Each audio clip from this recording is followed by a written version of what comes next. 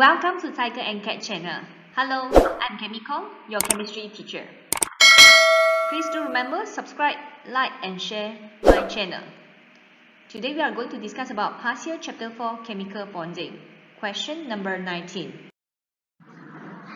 This is the question 19 in KMPK tutorial book. Is question 2017-2018 PSPM SK016 question 6. Let's check the question. Sodium bicarbonate is used in baking as raising agent. When dissolved in water, the salt dissociate into ions. So for these two sentences, actually there is no question. But you have to take note into ions, meaning that for the next, we check ion again.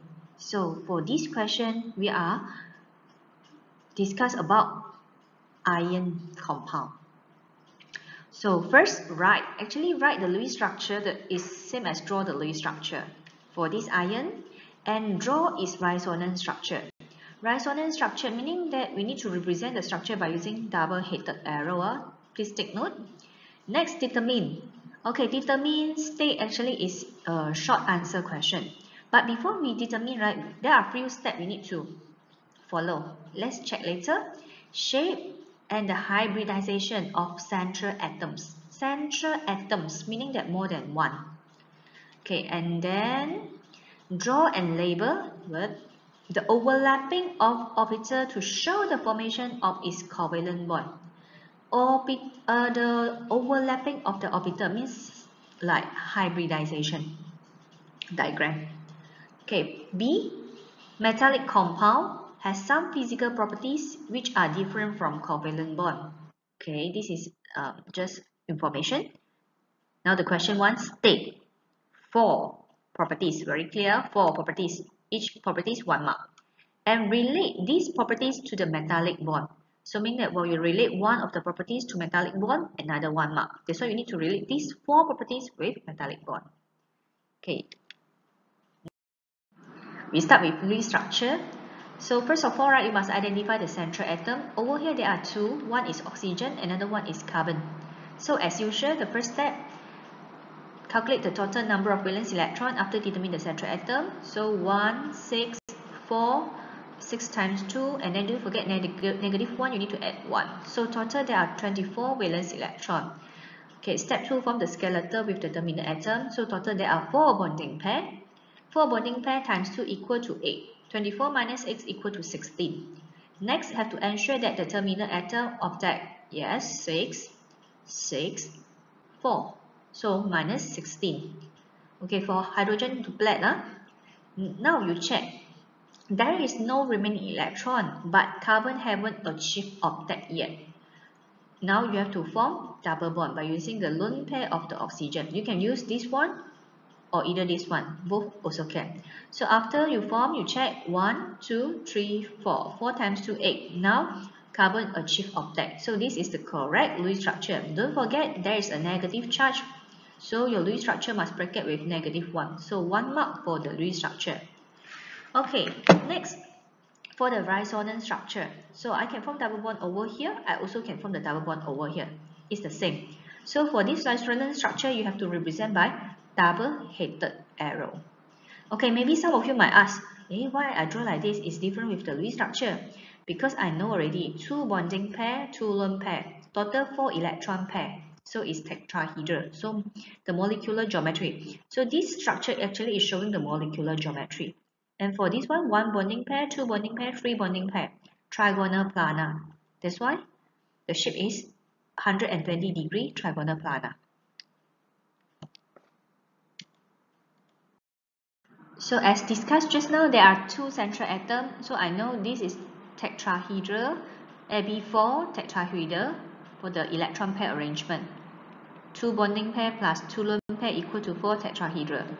And then for carbon 3, three bonding pair. So total equal to three electron pair, so trigonal planar as well. And then for the shape, this one there is no lone pair, that's why trigonal planar. For oxygen, there are two lone pair, that's why the shape is V shape or bent. Okay, next about the orbital diagram.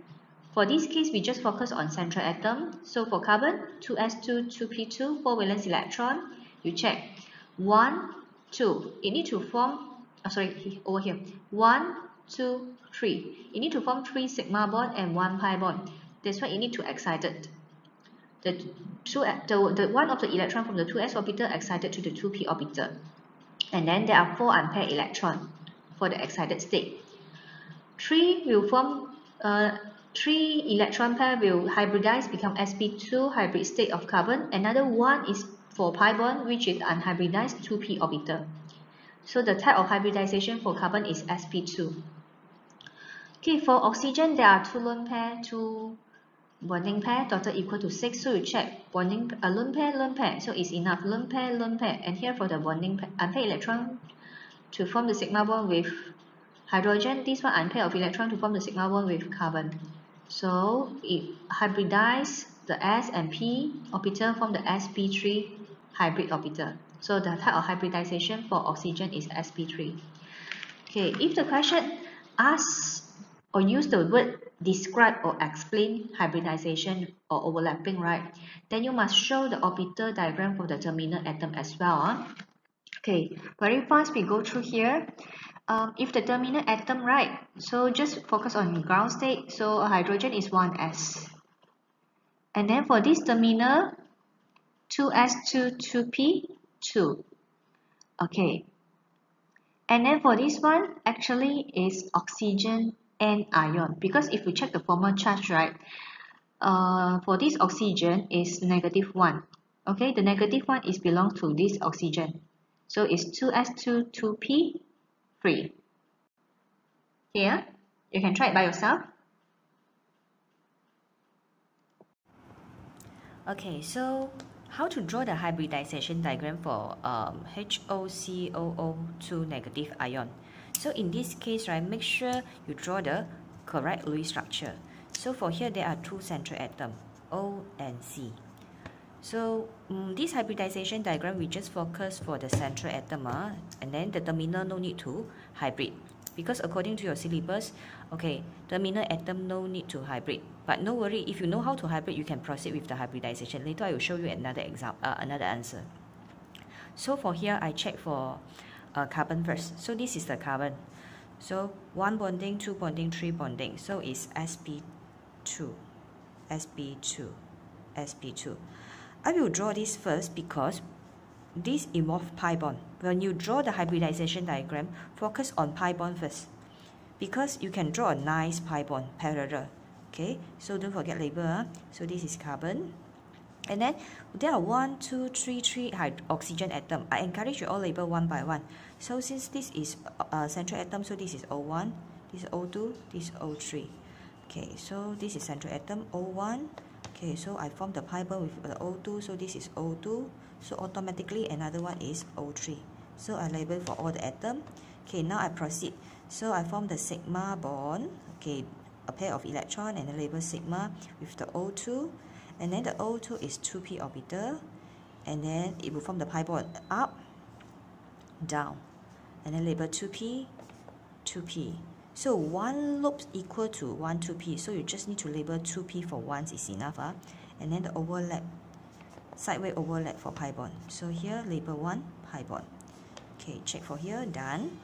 Okay, next we go for this one. This one is the O3. O3, because this is terminal, I just show 2p is enough.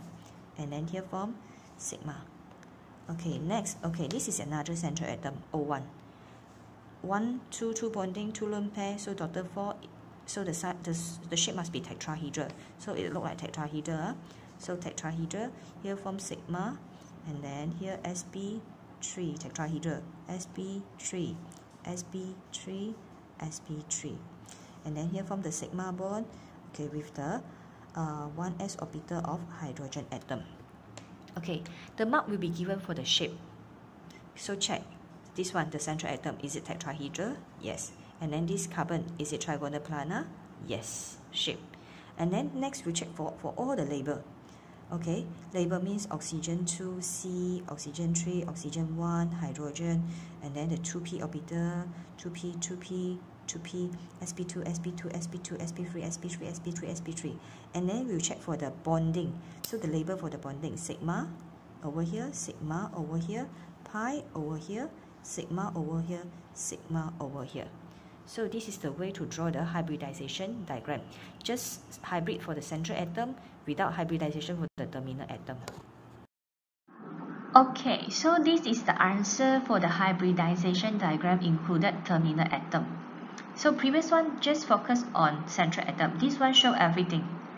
So the central atom is the C and the O1. Okay, so make sure that all the shape, if you want to show all the set, all the hybridization for the terminal and central atom, make sure all the shape is correct. So for example, the O2 is trigonal planar, O3 is tetrahedral, C is trigonal planar, and then the O1 is tetrahedral. So marks will be given for the correct shape. And then make sure label for the all the sp2, 2p orbital, everything. So sp3 for 4, sp3 for 4, sp2 for 3, sp2 for 3, and then the 2p, 2p pure orbital, and then the 1s orbital. And then the hydrogen atom, O1, O3, carbon, O2 for the label. And then you must show the lone pair, lone pair for the uh, lone pair, and then the pair of electron for the sigma, and then the pair of electron for the pi bond, and everything, all the electron pair must show clearly, so in order to get three marks. So here are the extra points for revision purpose. If the question asks you to explain or describe, right, you have to show all the explanation over here. Okay, you have to state clearly what kind of orbital. So we use, uh, I try to explain one example. Okay, point number one is over here. So the sp2, what type of orbital? Hybrid orbital of carbon atom is overlapped with the sp2 of O2 atom to form the sigma bond. Okay, if pi bond is pure, so we look at 0.5. So you can mention pure 2p orbital or unhybridized 2p orbital of carbon atom is overlapped with another 2p orbital of O1 atom. So means uh, the O1, okay, not O1, it's the O2. O2 to form a pi bond. Okay, ah, and then you check for point for this one, point number three. Okay, for this, right, the O3 no longer is atom. The O3 for here actually is ion. So you must mention the sp3 hybrid orbital of the O3 ion. If we check the formal charge, the negative 1 is belong to this O3. So you must mention it's O3 ion. Next, we need to discuss the properties of matter. There are four. The first one is malleability. It's the ability of a matter to be hammered into shape. Second is ductility. Okay, it's the ability of a metal to be drawn into wire if in Malay term is kemuluran. Then electrical conductivity and thermal conductivity. Metal are the good conductor of electricity and heat. So, while you explain these four, is when you state these four properties, right, you need to further explain in order to get to answer the question for part 2. Relate them with the metallic bonding. So, over here, both of them with the same concept when they want to when, when need to explain in terms of metallic bonding. So before an external force is applied, the metal atoms are arranged orderly. When sufficient force or any stress is applied to the metal, one layer of atom can slide over another layer without disrupting or breaking the metallic bond. That's why it able to hammer into shape and drawn into wire. Okay, for conduct the good conductor will explain when an electrical potential is applied to the metal.